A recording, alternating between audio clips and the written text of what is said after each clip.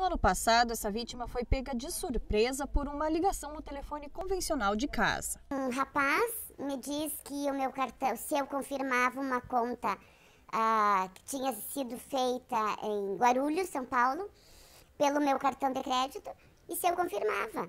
E aí eu disse que não, não, eu estava em Passo Fundo, estava em casa, estava trabalhando. A partir daí, ela passou cerca de duas horas envolvida na situação bem articulada, conhecida como golpe do motoboy. Pegaram o meu cartão uh, da, conta, da conta desse do cartão de crédito, uh, colocaram no envelope, porque em função da pandemia, para uh, a pessoa não ter de ir até o banco, a Caixa estava enviando um motoboy para uh, uh, pegar o cartão e levar para uma análise. Desci, né? Fui até a porta, entreguei o cartão. Continuei conversando com ele. Ele perguntou se eu tinha outra conta.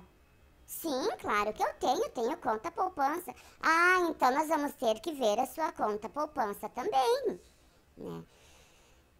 Aí fiz o mesmo procedimento. Ele perguntou se eu tinha o, o, o site da Caixa baixado, se tinha o aplicativo da Caixa no meu celular.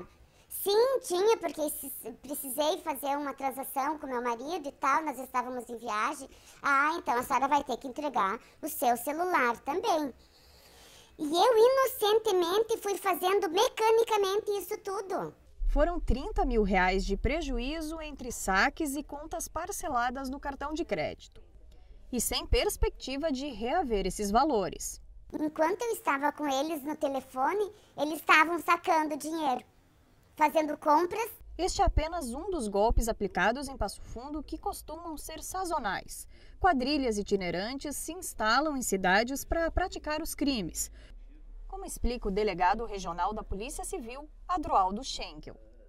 Ele relata os golpes mais praticados neste início de ano. O da clonagem de WhatsApp, por vezes realmente clonado, clonada aquela conta uh, nessa rede social, e por vezes simulada a, a, a troca de número. Nós temos o golpe do nudes, ainda bastante visível, que a pessoa acaba conversando com desconhecidos, trocando mensagens e fotos de cunho íntimo, e a partir daí passa a ser é, extorquida. E a partir daí temos a situação dos boletos falsificados, dos boletos trocados. Temos também muita, muitas questões relacionadas a compras é, é, não, que não há o recebimento da mercadoria. Cada um deles possui uma metodologia particular. Segundo o delegado, a pandemia fez esse tipo de crime aumentar, já que também as pessoas passam mais tempo nas redes sociais. Os registros aumentaram 40% em Passo Fundo em janeiro deste ano, com 107 casos, comparado a janeiro do ano passado, com 75 casos registrados. A principal dica é estar alerta, já que reaver os valores perdidos é bastante difícil.